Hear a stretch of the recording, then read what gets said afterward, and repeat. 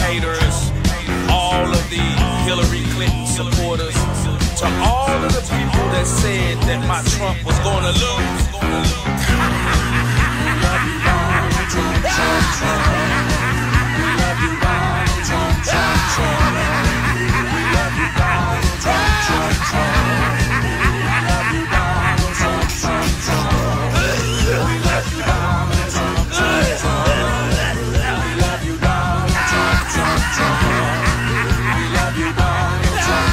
try.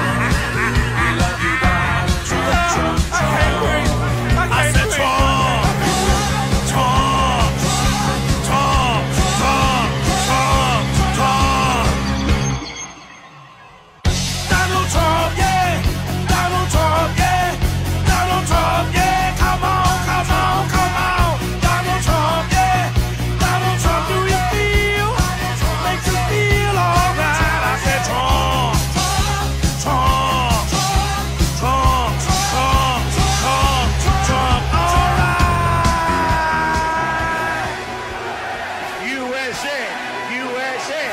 USA!